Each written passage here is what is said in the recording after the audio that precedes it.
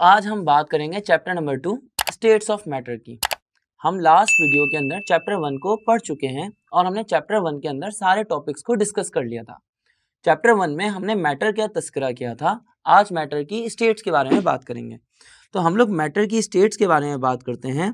Matter की four states हैं। सबसे पहली जो मैटर की स्टेट है, वो है सॉलिड दूसरी मैटर की स्टेट है लिक्विड और तीसरी मैटर की स्टेट है गैसेस और फोर्थ स्टेट इज़ प्लाज्मा क्योंकि हम एमडीकेट के लिए पढ़ रहे हैं तो एमडीकेट की कोर्स आउटलाइन के हिसाब से हम प्लाज्मा को फर्दर डिस्कस नहीं करेंगे। हमें रिस्ट्रिक्ट करना पड़ेगा अपने आप को सॉलिड लिक्विड और गैसेस तक। तो आइए ज़रा सॉलिड लिक्विड गैसेस के बिहेवियर्स को जानने की कोशिश करते हैं। सॉलिड लिक्विड और गैसेस के बिहेवियर्स सबसे फ़र्स्ट सबसे फ़र्स्ट बिहेवियर के अंदर हमें यह समझना है कि सॉलिड्स की शेप कैसी होती है। तो सॉलिड्स की शेप बेटा फिक्स होती है। सॉलिड्स की शेप फिक्स होती है, जिसको हम लोग डेफिनेट भी कह सकते हैं। लिक्विड्स की शेप की बात की जाए तो लिक्विड्स की शेप फिक्स नहीं होती। उसको जिस कंटेनर में डाला जाए, वो उस कंटेनर की शेप एक्वायर कर लेता है। तो लिक्विड्स की शेप इनडेफिनेट होती है। और अगर गैसेस की बात की जाए तो गैसेस की शेप भी फिक्स नहीं होती। इनको जिस कंटेनर के अंदर रखा जाएगा, जिस सिलेंडर के अंदर रखा जाएगा तो ये उस सिलेंडर की शेप को एक्वायर कर लेंगे। तो हमारे पास सिलेंडर की शेप को एक्वायर करने की वजह से या किसी भी कंटेनर की शेप को एक्वायर करने की वजह से इन गैसेस की शेप को इनडेफिनेट कहा जाएगा। अगर हम वॉल्यूम की बात करते हैं तो सॉलिड्स का एक फिक्स्ड वॉल्यूम होता है, ना ये उससे ज़्यादा जगह ऑक्यूपाई करते हैं और ना ही उससे कम। तो सॉलिड्स की सॉलिड्स का जो वॉल्यूम है, वो भी डेफिनेट होता है फिक्स होता है। लिक्विड्स की बात की जाए तो लिक्विड्स का वॉल्यूम भी फिक्स रहता है। जैसे कि अगर आपके पास एक लीटर वाटर है अगर आपके पास एक लीटर पानी है तो आप एक लीटर पानी को आप कैन के अंदर रखें गेलन के अंदर रखें या आप इसको आ, किसी टब के अंदर रखें तो वो एक लीटर ही रहेगा। वो अपनी हाइट बढ़ा के पानी अपना वॉल्यूम नहीं बढ़ा देगा। पानी की हाइट नहीं बढ़ेगी या तो पानी की लेंथ बढ़ेगी या पानी की विर्थ बढ़ेगी। अगर आपने पानी को ग्लास के अंदर डाला तो पानी की हाइट बढ़ जाएगी, यानी कि ओवरऑल जो इसका वॉल्यूम होगा, वो वॉल्यूम सेम रहेगा। जिस तरीके से भी आप वॉल्यूम ले लें पानी का वॉल्यूम या किसी भी लिक्विड का वॉल्यूम रहेगा, वो फिक्स रहेगा, वो चेंज नहीं होगा। तो इसीलिए हम कह सकते हैं कि जो लिक्विड्स है लिक्विड्स का वॉल्यूम फिक्स रहता है। हाँ अगर गैसेस की बात की जाए तो गैसेस के मॉलिक्यूल्स के दरमियान में, क्योंकि गैप्स बहुत ज़्यादा होते हैं और इनकी डिफ्यूजिबिलिटी बहुत ज़्यादा होती है तो इनको जिस कंटेनर के अंदर रखा जाए, इस पूरे कंटेनर का पूरा वॉल्यूम ऑक्यूपाई कर लेते हैं। यानी कि अगर आप इसको एक छोटी बॉटल के अंदर बंद कर देंगे गैस को तो गैस उस वॉल्यूम के अंदर भी उस छोटी सी बॉटल के अंदर भी पैक हो जाएगी। और अगर आप गैस को परफ्यूम को अगर आप स्प्रे करके पूरे कम, कमरे के अंदर स्प्रे करेंगे तो पूरे कमरे के अंदर वो फैल जाएगा। यानी जितना भी वॉल्यूम कंटेनर का होगा वो पूरा का पूरा वॉल्यूम ऑक्यूपाई कर लेगा। तो हम ये कह सकते हैं कि गैसेस का अपना कोई वॉल्यूम फिक्स नहीं होता वो कंटेनर का वॉल्यूम ऑक्यूपाई कर लेता है। तो हम कह सकते हैं कि गैसेस का वॉल्यूम जो होता है वो इनडेफिनेट होता है। अगर इंटरमोलिकुलर फोर्सेस ऑफ़ अट्रैक्शन की बात की जाए तो सॉलिड्स के मॉलिक्यूल के दरमियान में इंटरमोलिकुलर फोर्स ऑफ़ अट्रैक्शन बहुत ज़्यादा होती है। सॉलिड्स के मॉलिक्यूल एक दूसरे को बहुत स्ट्रांगली अट्रैक्ट करते हैं और स्ट्रांगली एक दूसरे को जोड़ के रखते हैं। इनके दरमियान में बाइंडिंग फोर्स बहुत ज़्यादा होती है। तो इसलिए हम बोल सकते हैं कि सॉलिड्स के मॉलिक्यूल्स के दरमियान में जो इंटरमोलिकुलर फोर्स ऑफ़ अट्रैक्शन है, वो बहुत ज़्यादा है। अगर लिक्विड्स की बात की जाए तो लिक्विड्स के मॉलिक्यूल के दरमियान में भी लिक्विड्स का जो क्लस्टर होता है, उसके मॉलिक्यूल्स के दरमियान में भी इंटरमोलिकुलर फोर्स ऑफ़ अट्रैक्शन बहुत ज़्यादा होती है। इसीलिए लिक्विड्स की भी intermolecular force of attraction high ही होगी, यानी बहुत ज़्यादा होगी। जबकि गैसेस के मॉलिक्यूल्स की बात की जाए तो गैसेस के मॉलिक्यूल्स के दरमियान में कोई फोर्स ऑफ़ अट्रैक्शन या कोई फोर्स ऑफ़ रिपल्जन नहीं होती according to kinetic molecular theory अब ये मैंने क्यों वर्ड ऐड किया है? क्योंकि ये थोड़ा कॉन्ट्रोवर्शियल है, इसको हमें फर्दर आगे डिस्कस करना है। तो हम यहाँ पे लिख लेते हैं कि जो लिक्विड्स हैं, इनके दरमियान, इनके मॉलिक्यूल्स के दरमियान में intermolecular force of attraction negligible होती है। एक second intermolecular force of attraction यहाँ पर बहुत ही कम होती है according to kinetic molecular theory kinetic molecular theory theory के हिसाब से इनके दरमियान में इंटरमोलिकुलर फोर्स ऑफ़ अट्रैक्शन कम आ, बिल्कुल भी नहीं होती या बहुत ही कम होती है ऐसा क्यों है? इसको नेक्स्ट टॉपिक के अंदर डिस्कस करते हैं थोड़ी देर के लिए इस पर वेट करते हैं। यहाँ पर अगर पैकिंग की बात की जाए तो सॉलिड्स क्योंकि सॉलिड्स बहुत टाइटली पैक्ड हैं इसलिए सॉलिड्स की पैकिंग बहुत टाइटली पैक्ड वाली होगी जबकि लिक्विड्स के मॉलिक्यूल के दरमियान में भी सॉलिड्स के सॉलिड्स के मॉलिक्यूल के दरमियान में inter intermolecular force of attraction बहुत ज़्यादा है, इसीलिए उनके मॉलिक्यूल्स एक दूसरे से टाइटली पैक्ड होंगे। लिक्विड्स के मॉलिक्यूल्स में भी इंटरमोलिकुलर फोर्स ऑफ़ अट्रैक्शन बहुत ज़्यादा है तो इसीलिए लिक्विड्स के मॉलिक्यूल्स भी टाइटली पैक्ड होंगे।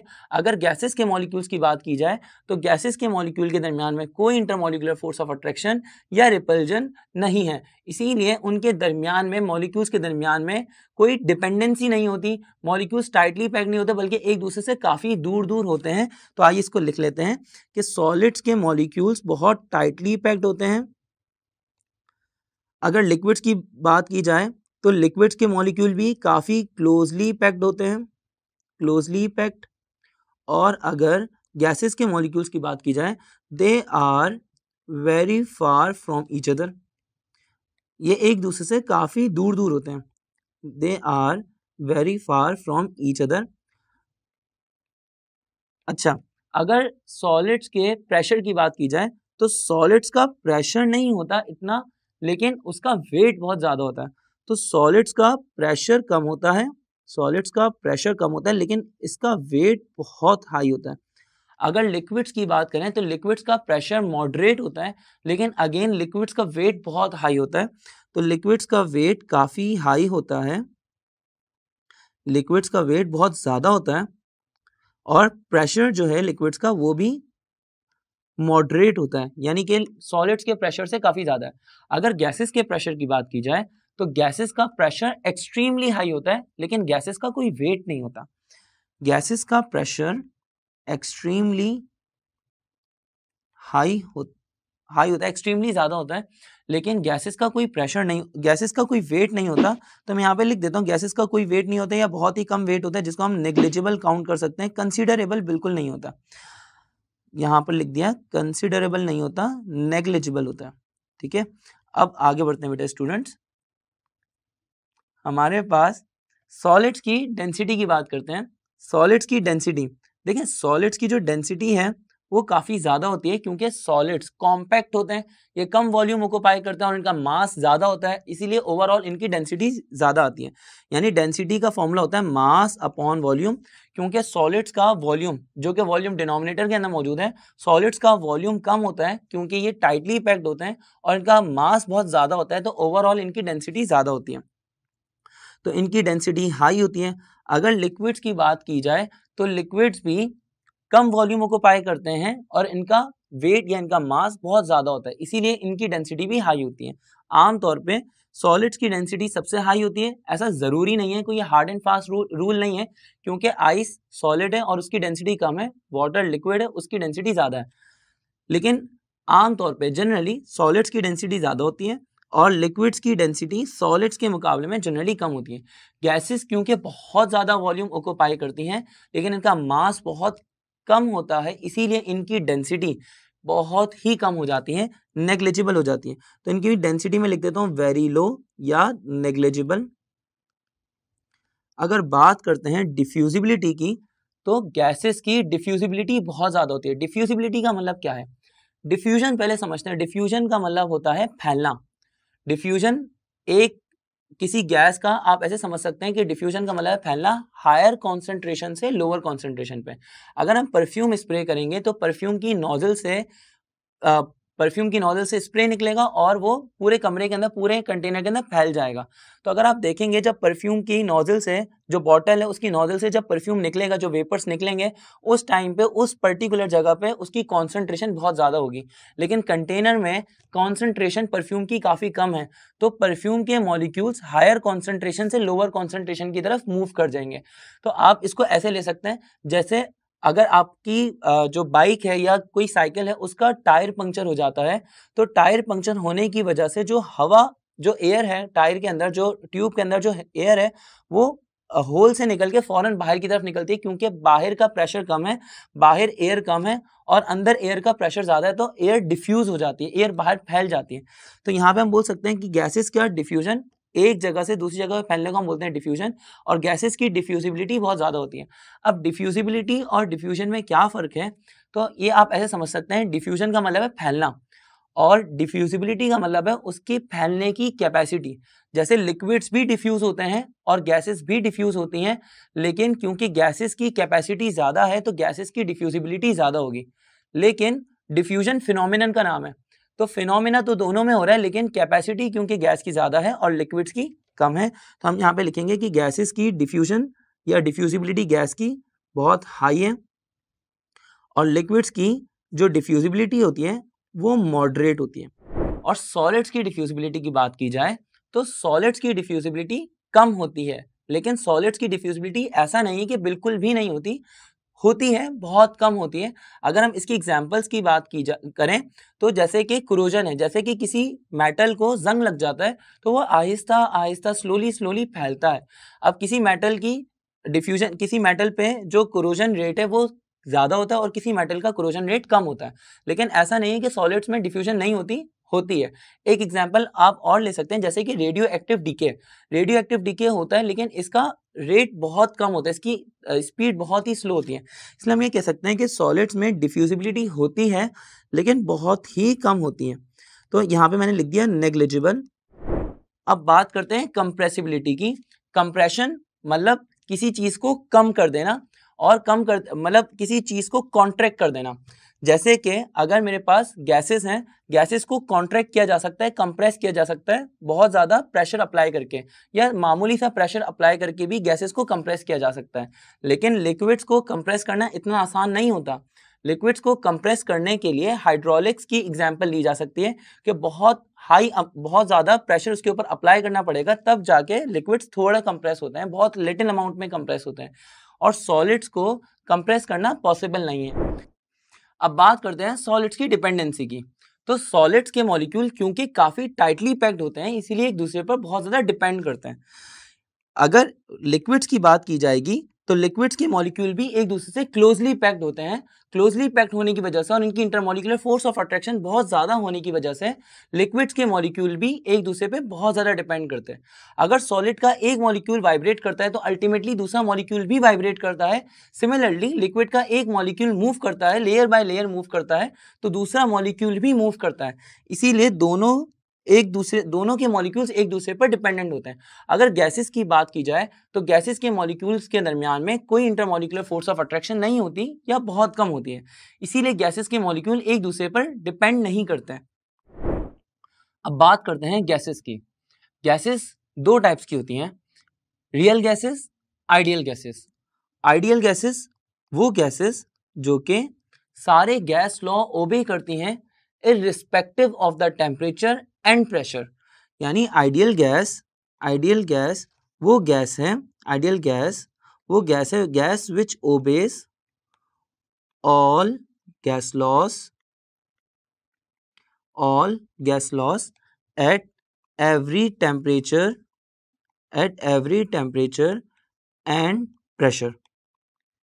लेकिन अगर बात की जाए रियल गैसेस की तो रियल गैसेस सारे गैस लॉस को ओबे नहीं करती हर टेम्परेचर और प्रेशर पे। Real gases, real gas do not obey don't obey all gas laws at every temperature and pressure कहाँ फ़र्क आता है, कहाँ हम एक डिमार्केशन लाइन क्रिएट कर सकते हैं रियल गैसेस और आइडियल गैसेस के दरमियान में। तो आइए ज़रा समझते हैं। काइनेटिक मॉलिकुलर थ्योरी के हिसाब से आपको याद होगा, इस चैप्टर के शुरू में मैंने कहा था कि गैसेस के दरमियान में कोई इंटरमोलिकुलर फोर्स ऑफ़ अट्रैक्शन या रिपल्जन नहीं होती, according to K M T kinetic molecular theory.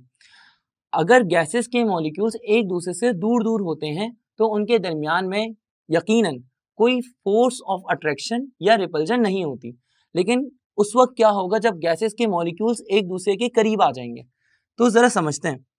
अगर हमारे पास गैसेस के मॉलिक्यूल्स एक दूसरे के करीब आ जाएँ लेट से हाई प्रेशर किया हाई प्रेशर या लो टेम्परेचर हाई प्रेशर या लो टेम्परेचर पर गैसेस के मॉलिक्यूल्स एक दूसरे के करीब करीब आ जाएँगे। तो जब गैसेस के मॉलिक्यूल्स एक दूसरे के करीब आ जाएँगे तो उनके दरमियान में इंटरमोलिकुलर फोर्स ऑफ़ अट्रैक्शन या रिपल्जन भी डेवलप हो जाएगी। तो मैं यहाँ पे लिख सकता हूँ at high at high pressure at high pressure and low temperature real gases real gases real gases can have intermolecular force of attraction intermolecular force of attraction and repulsion as well so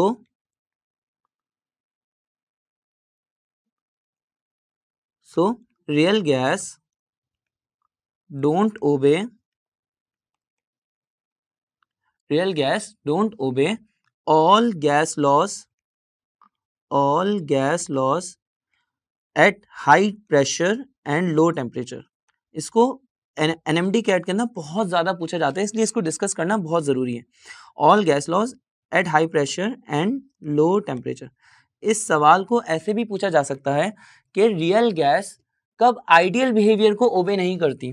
तो आप ये कह सकते हैं कि ideal behaviour को कब obey नहीं करती, जब प्रेशर हाई हो और लो टेम्परेचर हो, क्योंकि मॉलिक्यूल्स एक दूसरे के करीब करीब आ जाएँगे। तो आप यहाँ पर ये लिख सकते हैं so real gas don't obey all gas laws या don't obey ideal behaviour ideal behaviour at high pressure and low temperature.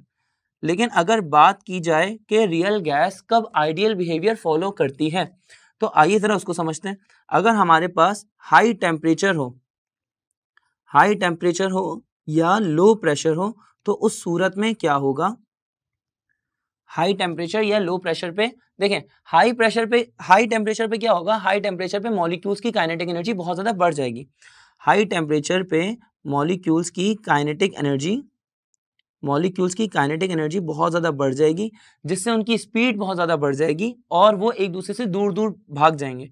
तो हमारे पास होगा क्या कि high temperature kinetic high temperature पे काइनेटिक एनर्जी बढ़ेगी तो स्पीड भी बढ़ जाएगी, वेलोसिटी बढ़ जाएगी तो मॉलिक्यूल्स एक दूसरे से दूर भागेंगे। Molecules will move will move away from each other. तो जब मॉलिक्यूल्स एक दूसरे से दूर दूर हो जाएँगे तो उनके दरमियान में कोई इंटरमोलिकुलर फोर्स ऑफ़ अट्रैक्शन या रिपल्जन क्रिएट नहीं होगी। सिमिलरली अगर लो प्रेशर की बात की जाए तो लो प्रेशर पे भी गैसेस के मॉलिक्यूल एक दूसरे से दूर दूर हो जाते हैं। जब गैसेस के मॉलिक्यूल एक दूसरे से दूर दूर हो जाएँगे तो फिर दोबारा कोई इंटरमोलिकुलर फोर्स ऑफ़ अट्रैक्शन या रिपल्जन नहीं होगी। तो हम ये कह सकते हैं at high temperature and low pressure real gas obey real gas obey ideal behaviour अब मैं कब से गैस लॉस गैस लॉस किए जा रहा हूँ? तो एक काम करते हैं, सबसे पहले गैस लॉस को डिस्कस ही क्यों ना कर लें तो आइए जरा गैस लॉस को डिस्कस करते हैं। गैस लॉज में हमारे पास कुछ लॉज हैं, जैसे Boyle's law Avogadro's law Charles law Dalton law partial pressure और ग्राहम्स लॉ ऑफ़ डिफ्यूजन तो आइए ज़रा इनको डिस्कस करते हैं। सबसे पहले बॉयल्स लॉ को डिस्कस करेंगे। बॉयल्स लॉ बॉयल्स लॉ में बॉयल्स ने ये कहा कि वॉल्यूम इन्वर्सली प्रोपोर्शनल होता है प्रेशर के। किसी भी गैस का वॉल्यूम इन्वर्सली प्रोपोर्शनल होता है उस गैस के प्रेशर के। अगर आप प्रेशर बढ़ा देंगे तो वॉल्यूम कम हो जाएगा और अगर आप प्रेशर कम कर देंगे तो वॉल्यूम बढ़ जाएगा। हमारे पास इसको ऐसे लिखा जा सकता है, volume is inversely proportional to pressure और अगर इसको फर्दर ड्राइव किया जाए तो फर्दर हमारे पास फॉर्मूला निकल के आता है P one V one equals to P two V two again ये एन एम डी कैट है तो डेरिवेशन ज़रूरी नहीं है, सिर्फ़ फॉर्मूला जहन में रख के न्यूमेरिकल सॉल्व किया जा सकता है। अगर बात की जाए चार्ल्स लॉ की तो चार्ल्स लॉ में ये कहा गया है कि वॉल्यूम डायरेक्टली प्रोपोर्शनल होता है टेम्परेचर के। अगर आप टेम्परेचर बढ़ाएँगे तो वॉल्यूम खुद ब खुद बढ़ जाएगा, और अगर आप टेम्परेचर कम करेंगे तो वॉल्यूम खुद ब खुद कम हो जाएगा। इसको हम कैसे समझ सकते हैं? इसके लिए आप डेली लाइफ में एक एग्ज़ाम्पल ले सकते हैं। आप एक गुब्बारा फुलाइए जब आप गुब्बारा फुला लेंगे तो आप उसको पहले मेजर कर लें। उसका वॉल्यूम जब आप मेजर कर लेंगे तो आप उसको रेफ्रिजरेटर के अंदर, अपने घर के फ्रीजर के अंदर रख दीजिए। दो घंटे के लिए आप उसको फ्रीजर के अंदर रखें और फिर उसके बाद देखेंगे तो वो गुब्बारा, उसका वॉल्यूम श्रिंक हो जाएगा। क्यों श्रिंक हो जाएगा? क्योंकि जब रेफ्रिजरेटर में टेम्परेचर कम होगा तो वॉल्यूम खुद ब खुद कम हो जाएगा। इसको ज़रूर करके देखिएगा। सिमिलरली हमारे गैस के सिलेंडर्स क्यों फटते हैं? क्यों ब्लास्ट होता है गैस के सिलेंडर्स के अंदर? इसको ज़रा समझते हैं। अगर हम गैसेस के मॉलिक्यूल्स की बात की जाए, करें तो गैसेस के मॉलिक्यूल्स का एक बहुत ज़्यादा प्रेशर होता है। अगर हम गैसेस के मॉलिक्यूल्स को कंप्रेस करते हैं सिलेंडर के अंदर तो बहुत ज़्यादा मॉलिक्यूल्स कम जगह ओकोपाई करते हैं। यानी अगर आप उनका वॉल्यूम कम कर देते हैं, बहुत सारे गैस के मॉलिक्यूल्स को कंप्रेस करके, उनका वॉल्यूम कम करके एक सिलेंडर के अंदर उनको ओकोपाई कर देते हैं तो अल्टीमेटली उनका प्रेशर बहुत ज़्यादा बढ़ जाता है। अगर आप गैसेस के सिलेंडर को उनकी कैपेसिटी से ज़्यादा फिलअप करेंगे तो गैसेस का जो प्रेशर है वो बहुत ज़्यादा हो जाएगा, जिसकी वजह से सिलेंडर ब्लास्ट हो सकते हैं। तो यहाँ पे बॉयल्स लॉ की एप्लीकेशन हमें साफ़ दिखती है।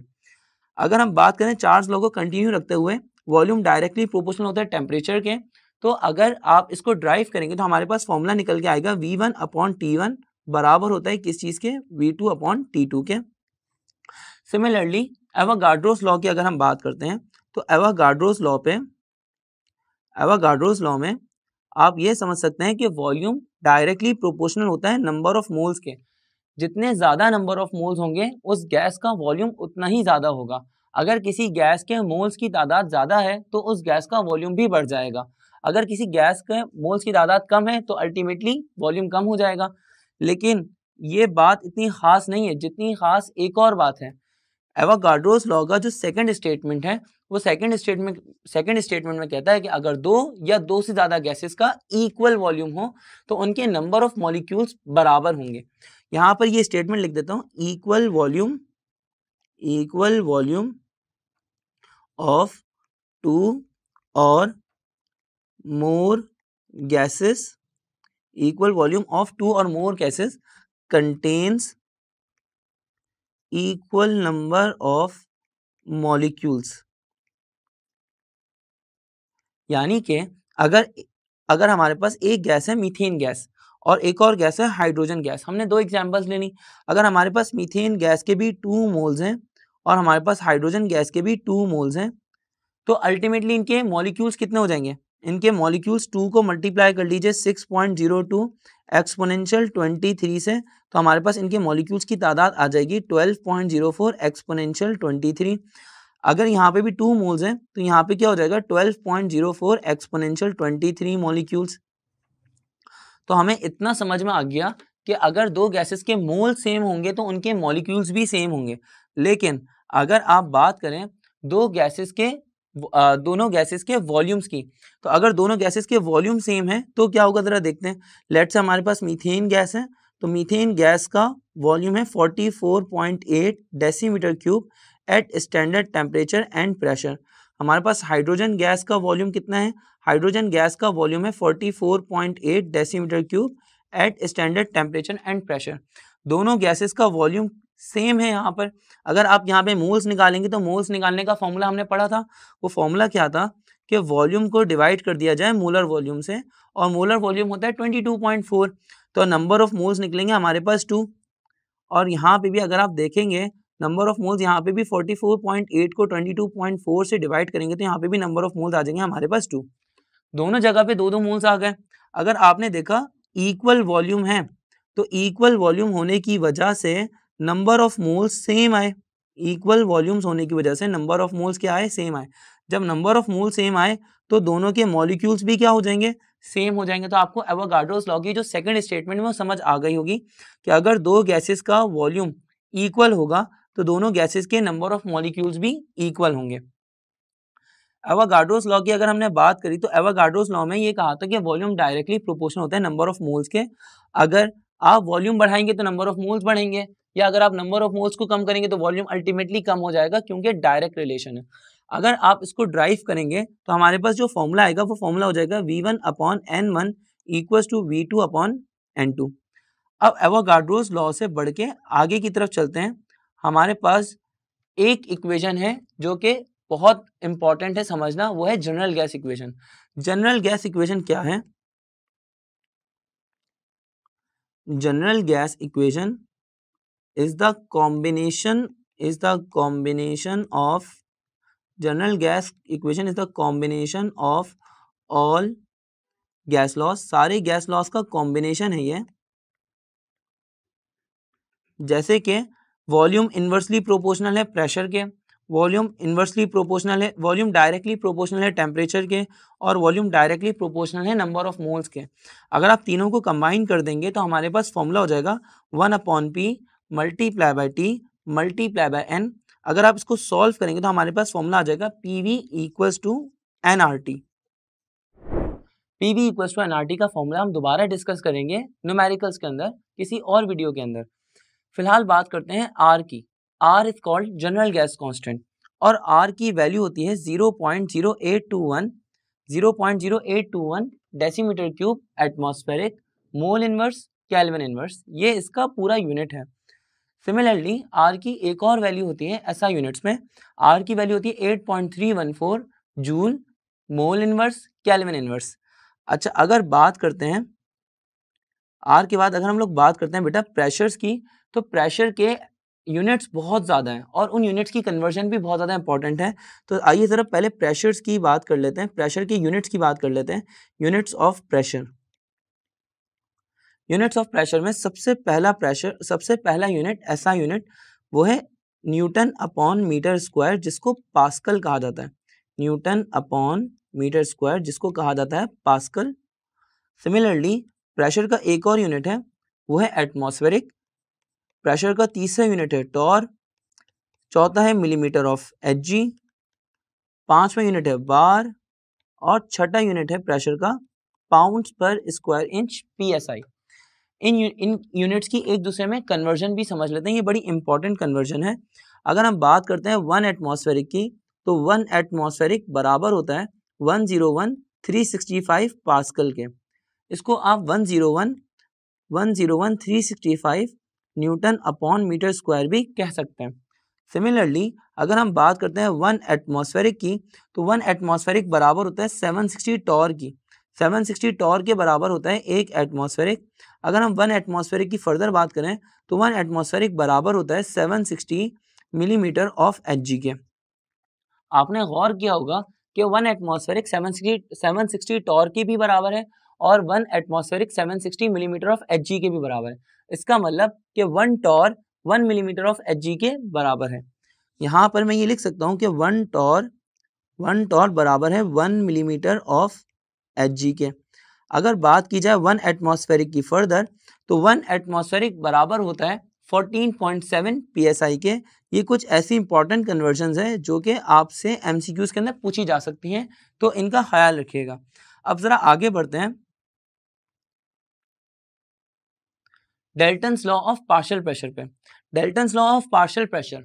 Dalton's law of partial pressure यह कहता है कि अगर एक सिलेंडर में बहुत ज़्यादा नॉन रिएक्टिव गैसेस हैं, यानी कि ऐसी गैसेस जो एक दूसरे से रिएक्ट करके कंपाउंड फॉर्म नहीं करती, अगर उन गैसेस की बात की जाएगी तो उन गैसेस का अपना अपना एक इंडिविजुअल प्रेशर होगा। अगर उन सारे इंडिविजुअल प्रेशर्स को ऐड कर लिया जाए तो आपके पास टोटल प्रेशर निकल आएगा। यानी Dalton's law of partial pressure के हिसाब से total pressure total pressure of two or two or more non reacting gases ये नॉन रिएक्टिंग बड़ा इंपॉर्टेंट है। Non reacting gases is the sum of is the sum of all the pressures all the individual pressures all the individual individual pressures of the gases in a mixture. आसान अल्फाज में, अगर हमारे पास चार gases हैं तो चारों गैसेस का अपना अपना एक इंडिविजुअल प्रेशर होगा। अगर उन चारों प्रेशर्स को ऐड कर दिया जाए तो टोटल प्रेशर निकल आएगा। अब आप सोचेंगे कि ये कौन सी कमाल की बात हुई? तो बेटा, ये वाकई कमाल की बात है। इसको ज़रा समझते हैं कि क्यों? क्योंकि हमारे पास अगर एक सिलेंडर के अंदर ऐसी गैसेस हैं जो कि एक दूसरे से रिएक्ट नहीं कर रही। जैसे कि मैंने यहाँ पर एक सिलेंडर बनाया है। यहाँ पे बहुत सारी गैसेस हैं, जिनको मैंने डिफरेंट डिफरेंट कलर से शो किया है। अगर ये गैसेस एक दूसरे से रिएक्ट कर जाएँगी तो होगा क्या कि ये कंपाउंड बना लेंगे। और जब कंपाउंड बना लेंगी तो ये इसका मतलब गैसेस के मॉलिक्यूल एक दूसरे से अट्रैक्ट हो रहे हैं। अट्रैक्ट हो रहे हैं तो ये सिलेंडर के मिडिल में रहेंगे और एक दूसरे से ज़्यादा टकराएँगे नहीं, क्योंकि ये कंपाउंड फॉर्म करते जाएँगे। लेकिन अगर ये गैसेस के मॉलिक्यूल एक दूसरे से रिएक्ट नहीं करेंगी, ये नॉन रिएक्टिंग गैसेस के मॉलिक्यूल्स होंगे तो ये क्या करेंगे? एक दूसरे से कोलाइड करेंगे। फिर ये एक दूसरे से कोलाइड करने के बाद सिलेंडर की वॉल से कोलाइड करेंगे। जब ये सिलेंडर की वॉल से कोलाइड करेंगे तो होगा क्या कि सिलेंडर की वॉल्स पे प्रेशर जनरेट करेंगे। तो जितनी कोलिजन्स होंगी, उतना ज़्यादा प्रेशर डेवलप होगा और कोलिजन्स उतनी ही होंगी जितने नंबर ऑफ़ मॉलिक्यूल्स होंगे। इसका सीधा साधा मतलब ये है कि अगर नंबर ऑफ़ मॉलिक्यूल्स एक दूसरे से रिएक्ट नहीं करते तो बराबर रहेंगे। जब नंबर ऑफ़ मॉलिक्यूल्स बराबर रहेंगे तो नंबर ऑफ़ अफेक्टिव कोलिजन्स भी काउंट की जा सकती हैं। और जब नंबर ऑफ़ अफेक्टिव कोलिशन पता लग जाएँगे तो टोटल प्रेशर भी काउंट कर लिया जाएगा। इसका मतलब मैं ये कह सकता हूँ कि अगर मीथेन गैस का अपना इंडिविजुअल प्रेशर है, जो कि उसके मॉलिक्यूल्स की मदद से, उनकी मॉलिक्यूल्स की कोलिजन की वजह से प्रोड्यूस हुआ है तो हाइड्रोजन गैस के मॉलिक्यूल्स की कोलिजन की वजह से भी उसका प्रेशर देखा जा सकता है। सिमिलरली ऑक्सीजन गैस का, फिर नाइट्रोजन गैस का, ये चारों गैसेस आपस में नॉन रिएक्टिंग है। जब ये चारों नॉन रिएक्टिंग गैसेस एक दूसरे से कोलाइड करेंगी और फिर वॉल ऑफ़ कंटेनर से कोलाइड करेंगी तो बहुत ज़्यादा प्रेशर बिल्डअप करेंगी। और इस प्रेशर को मैं टोटल प्रेशर कह सकता हूँ। मैथमेटिकली टोटल प्रेशर बराबर होता है सारी गैसेस के प्रेशर के सम के तो पी टी बराबर हो गया P one plus P two plus P three plus P four अब आप कहेंगे कि अगर हमें टोटल प्रेशर पता लग जाए तो क्या पार्शल प्रेशर मालूम किया जा सकता है? हमें इतना तो समझ में आ गया कि अगर सारी गैसेस का प्रेशर पता है तो हम टोटल प्रेशर निकाल सकते हैं। लेकिन उस वक्त क्या जब हमें किसी गैस का प्रेशर ही ना पता हो, किसी गैस का इंडिविजुअल प्रेशर ना पता हो, लेकिन टोटल प्रेशर पता हो तो इसका बहुत आसान तरीका है। देखें टोटल प्रेशर नापने की एक डिवाइस होती है जिसका नाम होता है बैरोमीटर आप बैरोमीटर से किसी भी गैस का प्रेशर मालूम कर सकते हैं। जैसे कि आपने टायर वाले के पास देखा होगा, जो टायर के अंदर ट्यूब भरते हैं, उनके पास एक डिवाइस होती है जिससे वो गैस का प्रेशर नाप लेते हैं। अब जब वो गैस का प्रेशर नापते हैं तो उसके अंदर टोटल प्रेशर उनको पता लग जाता है। जब वो टोटल प्रेशर एक बार आपको पता लग गया तो आपको पता होना चाहिए कि अंदर गैसेस के कितने मॉलिक्यूल्स हैं और कौन सी गैस के कितने मॉलिक्यूल्स हैं। तो उस टोटल प्रेशर की मदद से और नंबर ऑफ़ मॉलिक्यूल्स की मदद से आप किसी एक स्पेसिफिक गैस का पार्शल प्रेशर मालूम कर सकते हैं। इसको अभी हम अभी न्यूमेरिकल्स के अंदर डिस्कस कर लेते हैं। जैसे कि एग्ज़ाम्पल के तौर पर अगर मैं बात करूँ, सबसे पहले फॉर्मूला लिख लेते हैं, किसी गैस का पार्शियल प्रेशर निकालने का फॉर्मूला क्या होता है? Partial pressure divided by total pressure बराबर होता है number of moles of gas divided by total number of moles के। अगर मैं एग्ज़ाम्पल के तौर पर बात करता हूँ कि हमारी जो एयर है, जो हमारी एटमॉस्फेरिक एयर है, हमारी एटमॉस्फेरिक एयर में ऑक्सीजन गैस की तादाद है ऑक्सीजन की तादाद है ट्वेंटी वन परसेंट तक ऑलमोस्ट हम इसको राउंड ऑफ़ में ट्वेंटी परसेंट कर लेंगे। नाइट्रोजन गैस की तादाद है सेवेंटी एट परसेंट और कार्बन डाइऑक्साइड की तादाद है कार्बन डाइऑक्साइड की जो परसेंटेज है वो है लेस देन वन परसेंट अगर मैं फ़िलहाल कार्बन डाइऑक्साइड गैस को for the sake of simplicity ignore कर देता हूँ और इनको राउंड ऑफ़ कर लेता हूँ तो नाइट्रोजन गैस की तादाद हो जाएगी एटी परसेंट और ऑक्सीजन गैस की वैल्यू हो जाएगी ट्वेंटी परसेंट तो आइए ज़रा इसको कैलकुलेट करते हैं। नाइट्रोजन गैस का प्रेशर मालूम करते हैं और हमारी ऑक्सीजन गैस जो एटमोस्फेरिक एयर के अंदर है, उसका प्रेशर